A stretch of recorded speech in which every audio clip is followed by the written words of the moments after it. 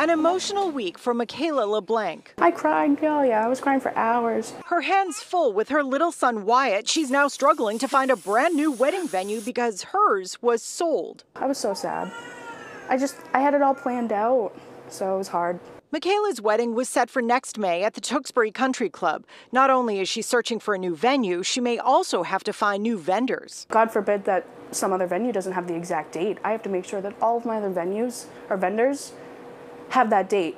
And if they don't, I lose a photographer, I lose a makeup artist, I lose my DJ. The club's owner says this happened unexpectedly. An opportunity came along out of nowhere. This wasn't even a conversation three weeks ago. He says weddings for this year will go on, but 35 weddings for 2023 are off. He says they're trying to make it right. We refunded everybody's uh, uh, event.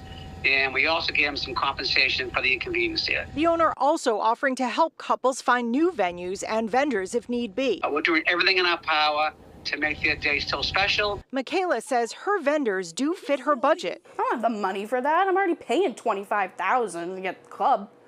So it's going to be difficult. It's going to be tough. I'm not sure what we're going to do.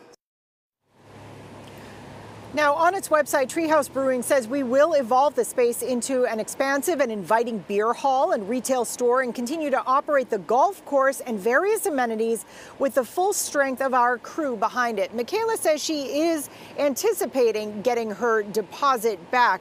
The last weddings will be held here at the end of this year.